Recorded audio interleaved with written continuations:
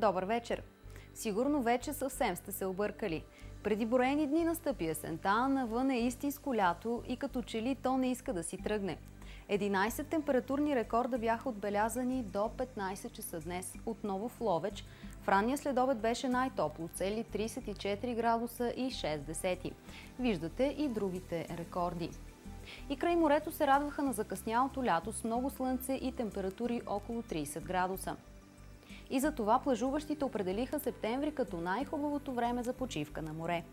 И през следващото денонощие времето ще бъде по-топло от обичайното за края на месеца.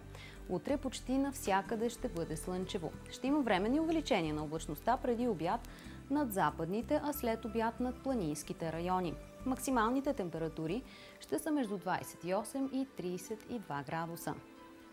Край морето ще се появят облаци, ще духа и до умерен североисточен вятър. Ще бъде обаче топло с максимални температури между 24 и 28 градуса. Над планините ще има временни увеличения на облачността, но без валежи. По най-високите части ще духа умерен западен вятър. През деня на 1200 метра ще е около 22 градуса.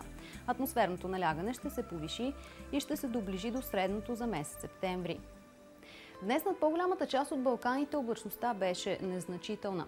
Утре над полуострова ще бъде предимно слънчево. Времени увеличения на облачността ще има над планинските райони. Температурите ще бъдат по-високи от обичайните за този период от годината. Дълбок атлантически циклон ще продължи да определя дъждовното, ветровито и хладно време на британските острови, Западна Европа и над Пиринеите. На Централна Европа ще бъде предимно слънчево.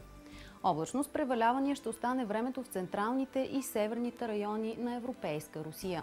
Над Северна Италия за кратко ще превали. У нас поне до събота ще има много слънце и високи температури.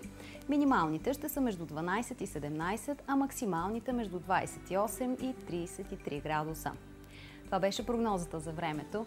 Приятна вечер!